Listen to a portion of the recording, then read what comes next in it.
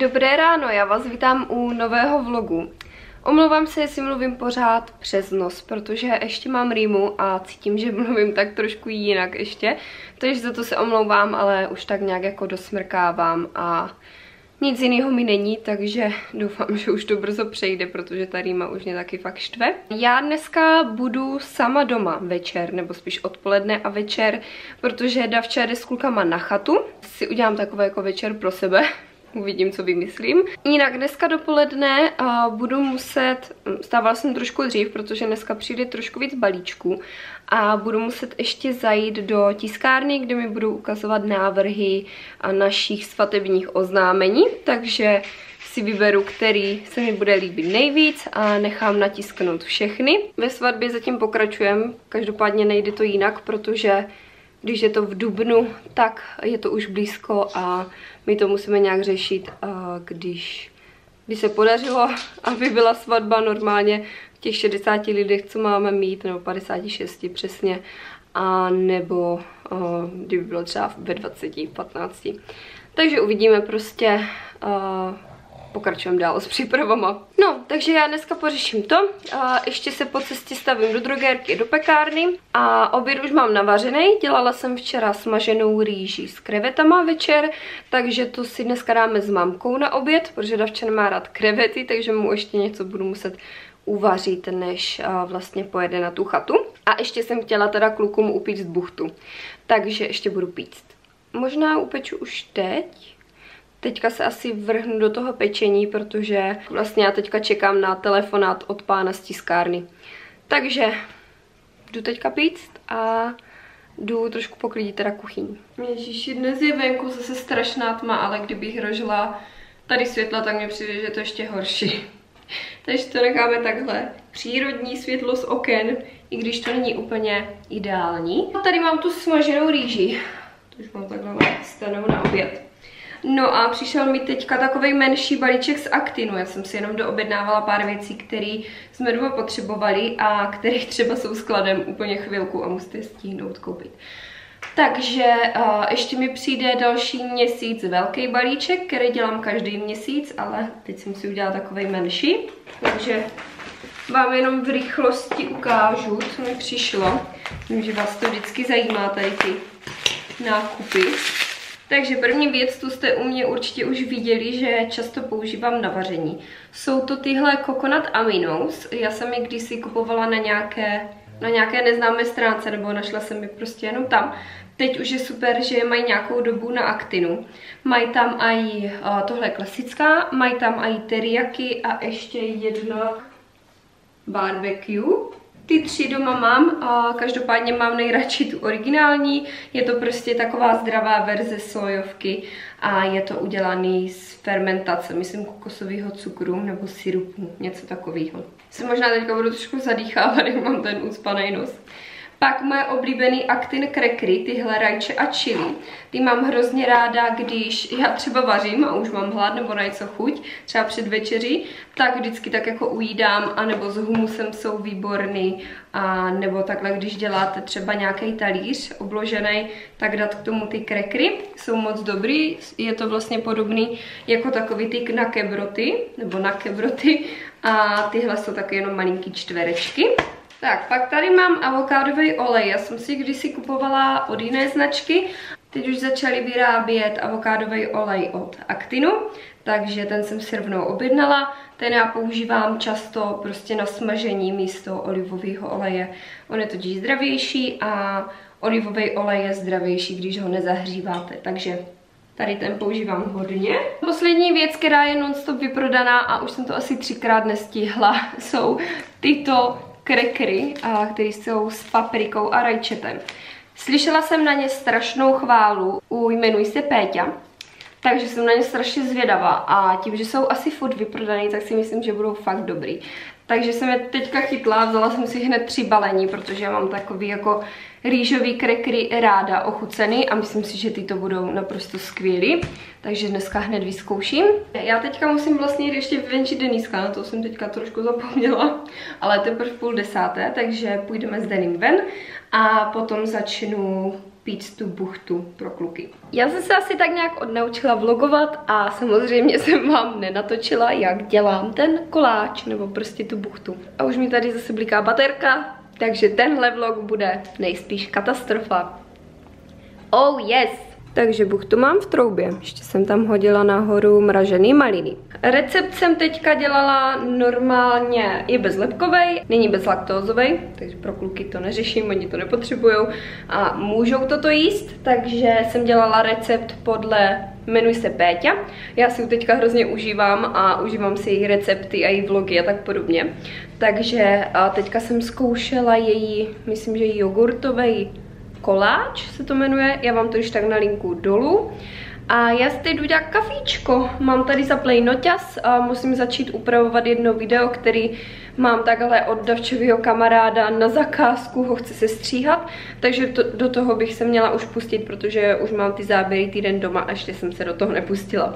Takže si teď udělám kafe, sednu si k tomu a furt čekám na ten telefonát od toho pána z té tiskárny, abych tam mohla vyrazit na ty oznámení. Takže uvidíme. Teď si jdu dát kafíčko. Do kávy tady teďka mám tady to Alpro ovesný barista bezlepkový. To je úplně krásně krémový, takže to si tam šupnu. Tak, jak já jsem si myslela, že nemám jako moc hrnku, tak už se mi to zase nějak jako zaplnilo. Přitom mně přijde, že jsem jako nějak hrnky nekupovala. A když jsme teďka byli se podívat v Kera Atelier, tak jsem si samozřejmě chtěla koupit hrníčky, ale Davča mi to zakázal, že už to nemáme kam dávat. Takže já bych si dala nějakou menší kávičku. Tady to si vezmu. Hi love.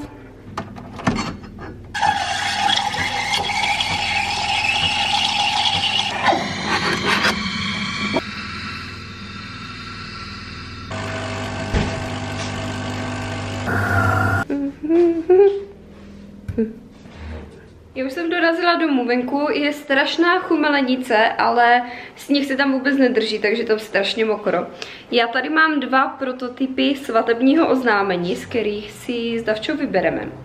A potom vám je asi už ukážu, protože si myslím, že už je čas vám je ukázat.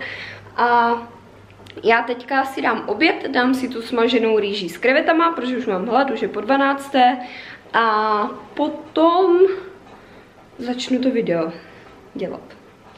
Takže teď si dám obídek.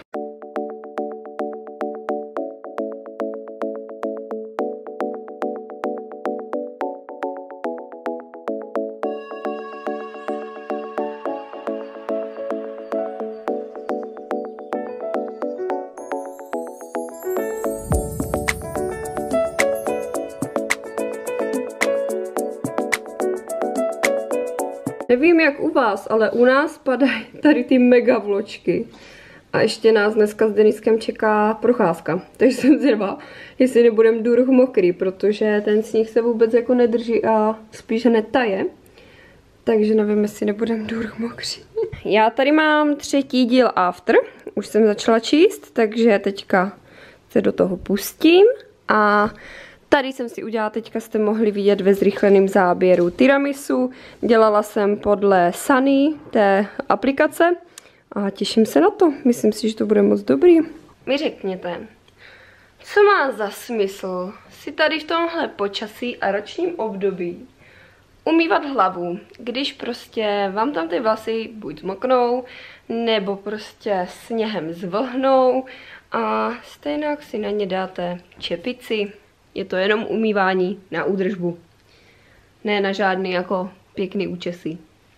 Takže já se jdu teď oblíct. A jdem se venčit s Deniskem. A už tam takhle nechumelí, takže aspoň nebudeme mokří. No moc hezky teda není. Ono tak jako pršo sněží a ten sníh je všude strašně rozbředlej a všude je strašně mokro. Jako bílo, ale mokro. Už mám teďka trochu vlhký ponožky takže tady moc dlouho nebudeme a jenom se tak projdeme a půjdeme zpátky domů, protože je fakt moc mokro. A Denny bude k prase. Takže toto je super. Pojď sem. je mokrý. Nožičky. Musí vždycky dělat blbečka ze sebe. Denny ne. Já můžu být v klidu, když ty utírám. Nikdy v životě, nikdy, nikdy, nikdy. Ježiši. Hop. Pane bože. Tak by jsme se docela prošli teda. A vlasy mám mokrý, protože tam zase začalo sněžit a teda z obuví jsem to taky moc nevychytala. Takže se hned musím převlít, ať nejsem ještě víc nachlazená, než jsem. Je tam fakt jako dur, jsou tam přesně takový ty srajdy, co bývají z rozpuštěného sněhu a břičky. Já jsem si tady položila tu dozičku, ve které má Denise kokínka, abych si na ní položila ten foťák. A on tady teď do ní drbe, protože ví, co v té dozičce je. Já si dávám ten cracker, nebo ty crackery, co mi dneska přišly z toho aktinu, ty paprikovo-rajčatový a je to mega dobrý, jako podle mě jíst takhle samotný, nebo třeba s nějakým krémovým sírem, nebo něco takového. Musí být naprosto luxusní, ale fakt stačí jenom tak samo o sobě. Jak je to ochucený, tak je to fakt strašně dobrý a nedivím se, že jsou furt vyprodaný. Takže fakt mega dobrý. A jak teď můžete slyšet, zapla jsem si simíky. A už jsem je nehrála podle mě tak půl roku minimálně, možná díl si myslím. A tak nějak jsem na to dostala prostě náladu a hrozně se na to těším. A jsem tady z toho celá modrá. Takže jdu na to. Přemýšlím, jestli si zahraju tu rodinku, co tam mám, anebo jestli si vytvořím novou rodinku. No uvidím, ale bez tak to zase dopadne tak, že si tam koupím dneska další tři dodatky, protože já vždycky, když začnu hrát Sims po dlouhé době, tak tam chci mít všechny dodatky nebo prostě něco nového, takže třeba si ještě dneska něco koupím.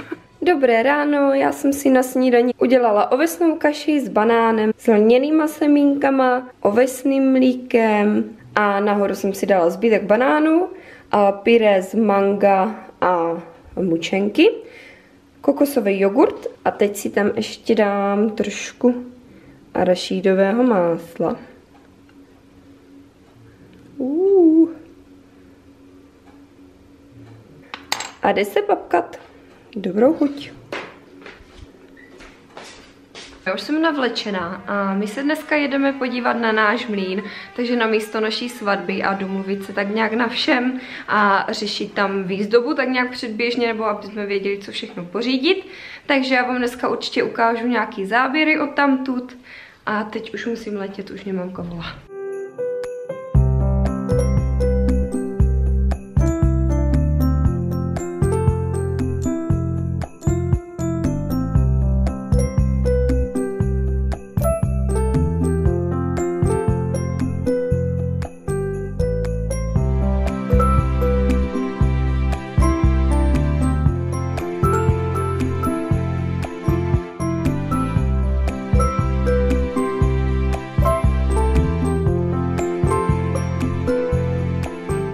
Já už jsem teď v pyžamu a půjdu si lehnout.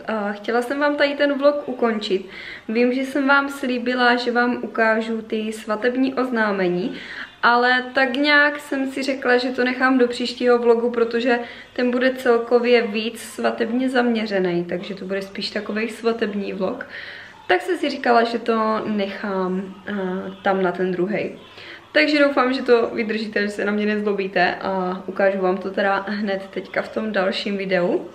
No a jak už jsem teda říkala, příští bude svatební, doufám, že se budete těšit, já se na vás budu určitě těšit a uvidíme se zase teda příště. Děkuji za zhlédnutí a mějte se krásně. Pa!